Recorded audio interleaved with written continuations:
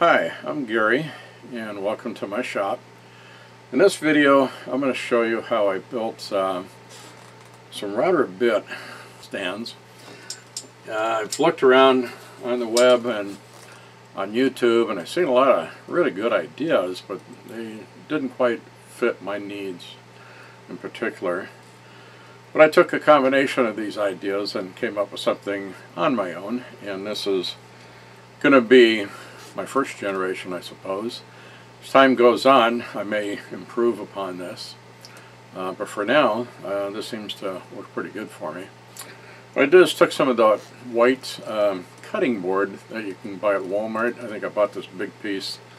Uh, it's like 15 by 24 or something like that for about 12 bucks. You know, that's a pretty good deal compared to what you spend for that kind of stuff elsewhere, uh, especially through woodworking supplies and came up with making something along this line for storing my um, router bits and stuff. And what it is, is cutting out this cutting board here in lengths. I did them at 15 inches, the width of the board, and it's 3 eighths of an inch thick.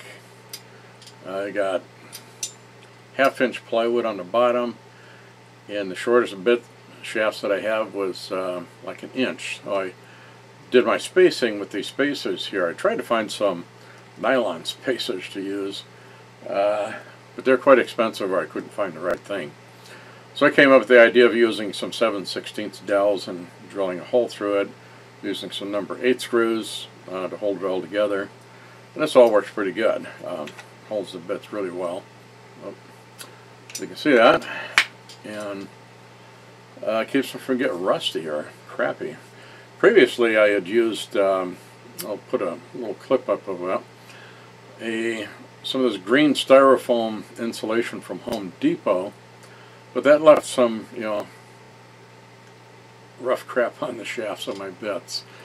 I had tried some other kind of like uh, wood that was like I think a particle board or something. It was kind of some kind of leftover stuff. Maybe it was leftover melamine and use that for making router bit holders too, but then those seem to uh, seep the moisture out of the air and I was getting rust on my bits.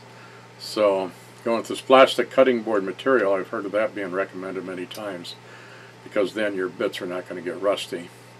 On this bottom wood surface here, probably a good idea to either paint that with like a uh, enamel paint or maybe a varnish or something to kind of protect that surface. This being a piece of plywood, it's not going to soak up the moisture from the air as much as like particle board or maybe even MDF would. So, this other board here um, has some bigger stuff on it. Also, I did some special cutting to make a cutout for this to fit into, and I did that on my scroll saw. Okay, this is uh, what I had used most recently. I went to the styrofoam here, which was better, but still I was getting some stuff sticking on the shanks. Uh, this is just made out of some of that green styrofoam board from like Home Depot. Uh, it comes, I think, uh, maybe three-quarter inch thick or something. So, this is what I'm replacing with these uh, new ones. That's another step in my evolution of trying to find a good cure for my oddball router bits. Okay, so this is a, um, what do you call this, plastic cutting board I picked up at Walmart for like $12. Um, it was pretty large, I think 15 by 24 inches or something like that. And what I'm doing is uh, cutting it up to um, get the strips out of it that I need for making the um, bit holders. What I did on this one was I cut it here um, because I wanted a square edge and then I found out that actually I could have just uh, cut it off like this this edge just where the uh, curve ends at and that way you know I'm not losing good inch or so here that I would otherwise lose. Because once I you know, turn this over to use as a surface, I've got these rounded edges here which can interfere with the uh, screw mounts that I'm going to put in. Then what I'm doing is I'm cutting these into strips that are 2 inches wide and the length of this board here is 15 inches. Okay, so here I'm going to cut this cutting board. Part of it I've already cut off as I've indicated before so I can score off the edges. But I set it so that the gullet of the teeth barely above or below the cutting surface I'm going to cut. And then I'm going to cut the thickness of the width of this board to 2 inches. Now I use this folding ruler because it's more accurate than a tape measure is.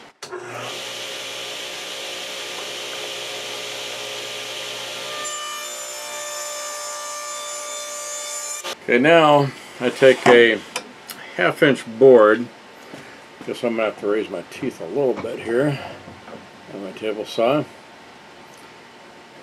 This is going to be the bottom part setup that I'm using for the router bit storage. I'm going to cut this to the same width as the other one.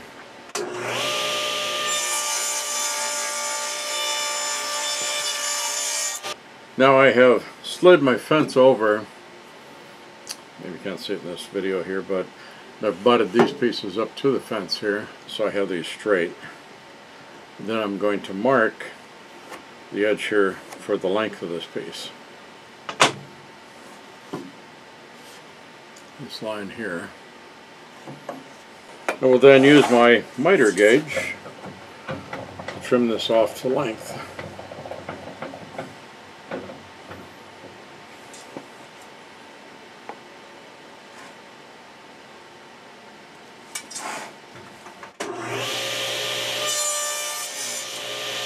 Now I have a perfect uh, match to these two boards here as far as the width and the length so I can start forming the shelf space between there which I'm going to do with dowels between here six dowels to support this up here.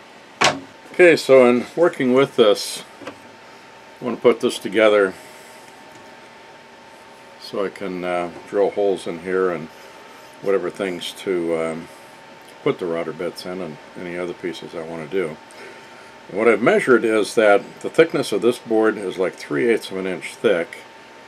The shortest um, shaft of my shortest router bit is like 1 inch in length, uh, even at a quarter inch uh, shaft. So I decided to make some, uh, cut some dowels out that I'm going to use as spacers. Been using a 7 16 inch dowel and I'm going to cut them to 5 eighths of an inch in length. Actually what I'm going to do first is uh, take about a 3 inch length of this and use a centering jig on my uh, drill press to drill a hole through the dowels and the hole I'm going to drill is 11 64ths. Drill it for as long as it can, which is almost 3 inches. And I'll use this jig on my drill press to hold it straight in the center. Then I go to the bandsaw and then cut them off in pieces. Then what it's going to look like when I get done with it all is this. Uh, this is a finished piece. And I've got six dowels in here four at the ends, two in the centers here. And the screws that I'm using for those are number eights by one and a half inch flatheads. And what I did is shaped out for the heads here so they'll sit flush on that. Then, uh, once I got that to that size, I take the flat piece that I've cut here over to the drill press and I cut out the holes, you know, I lay out my bits uh, to determine where I want my holes at and so forth. Drill out the holes at the drill press. For the shape of this, uh, this is for lock miter setup, so it's an oddball shape, it's not a round thing. I traced out the shape of this a round piece there, then I drilled a hole in the middle of it. I went to the scroll saw to cut out the shape for this here, for this to fit in on the scroll saw. Scroll saw is the one where it's a table that moves up and down like a sewing machine. Um, much easier to control and everything else. You can do this perhaps with a jigsaw, but that'd be kind of a, a, tricky situation to try and get a good cut in there with that. So I will take this 7 16 dowel, mark it to 3 inches here, then I will go over to the bandsaw and cut that length. Okay, so here at my bandsaw I've got this set up with the dowel with my marking. Line that up with the blade for my cut. It doesn't have to be real precise because uh, it's not going to drill exactly through the entire part anyway. And the measurements don't come out exactly given that I'm doing 5 eighths long spacers out of this.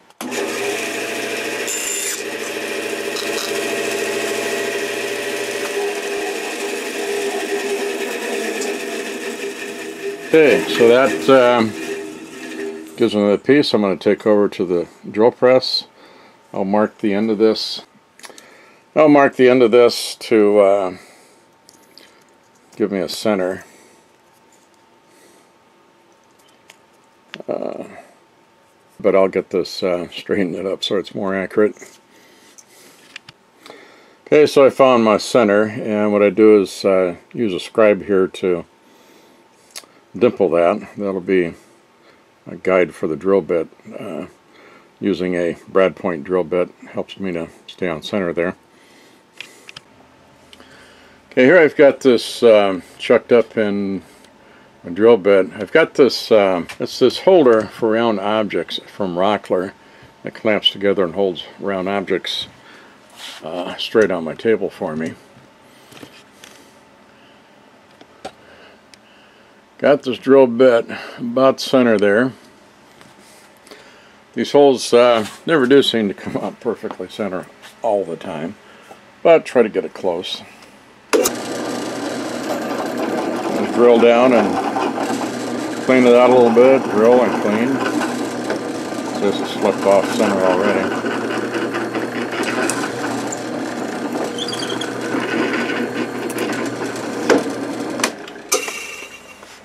As you can see, that's kind of off center there. Uh, but it'll still serve the purpose. It's not like it's got a whole, a whole lot of strength in there. The other end, of course, didn't go all the way through because the bit's not quite long enough to do that, even though I did chuck it out a bit.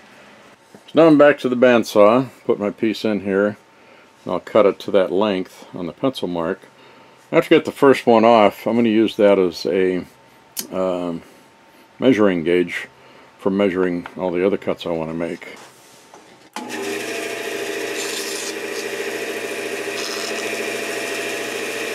Okay, so that gave me uh, four spacers here.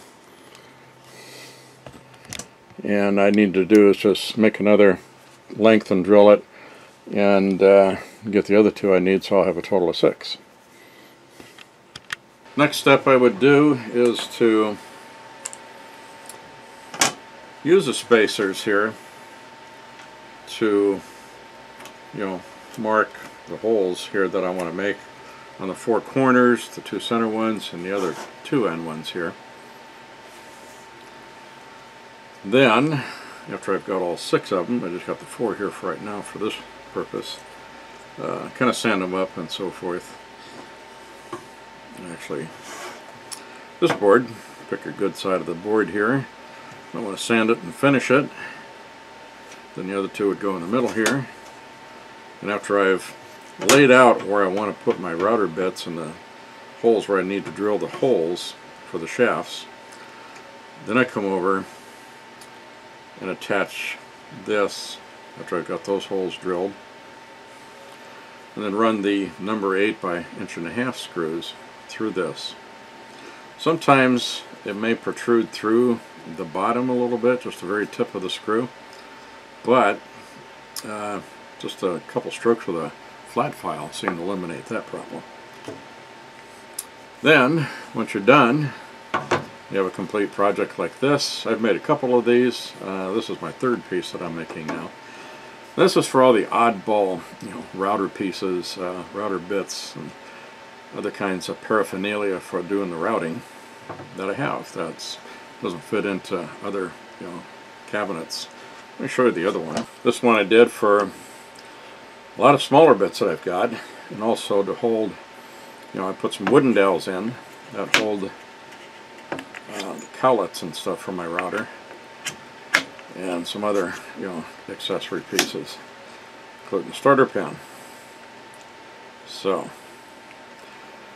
this is my solution that I found making router bit holders for all the oddball router bits that I've got well I hope you enjoyed this video and I hope you got something out of it if you did uh, please give me a like if you'd like to see more things as I come out with them in the future I've got a few more planned I don't do this uh, to make money off the advertising. I'm just trying to share some of the tips and tricks and things that I've learned along the way and figured out some of them on my own. But YouTube uh, here is a great resource for learning and getting a lot of things. I call it YouTube University because you can learn so much here.